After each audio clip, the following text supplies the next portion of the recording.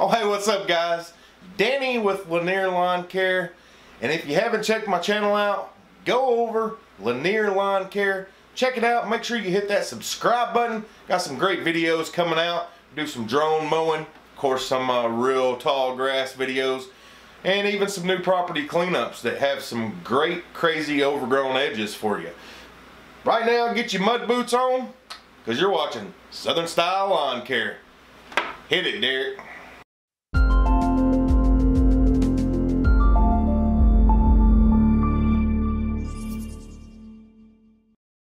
What's happening everybody? Derek here, Southern Style Lawn Care. Uh, went out mowing today. It was crazy wet. Uh, finally got a little bit of sunshine, but look up there, looks like we may get a little bit more. Uh, it's been raining for about, I'd say on and off for five days. So today, Monday, so I went ahead and just uh, went out and knocked out kind of what I could. Uh, I definitely didn't cut any customers' yards that are, you know, really picky. I had, I think, 12 lawns lined up today. I was only able to cut four, uh, which is better than nothing. I mean, when you you gotta do what you gotta do. Um, a lot of them were string trimmer only lawns. I do not recommend doing that if you are a beginner with a trimmer. Um, if you know what you're doing with a trimmer, you've been using one for a few years, you know, you can pretty much get it down. Uh, if it's a big, big property, there's no need to string trim the whole thing. I mean, it's just a waste of your time, honestly. But um, I string trimmed a few of them. They're, you know, very small properties. Um, two of them were little townhomes that I do. Um, it probably took me 15 minutes to string trim the whole thing.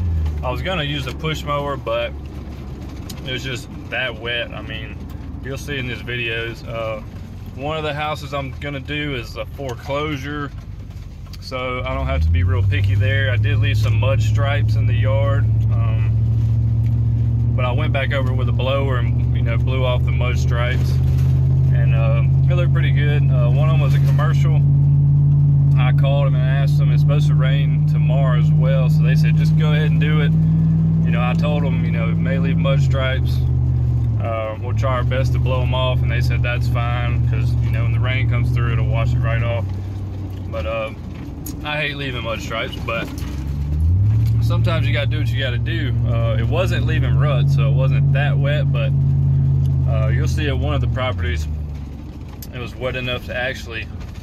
You know, I had my rain boots on, and I mean some of them, you know, over. There were some spots I had to weed eat that were pretty ridiculous, but it's just, you know, you know the yard. Some yards hold water in some spots, some don't. Uh, this yard always has water in this one spot, so wasn't really surprising. But uh, I haven't shot any live photos for you guys in a while, and I kind of, you know, had a lighter day today since I didn't have to rush, and um, got you guys some good photos, man. So hope y'all enjoy. Uh, hit the like, subscribe button, uh, comment. Appreciate you guys watching. Peace.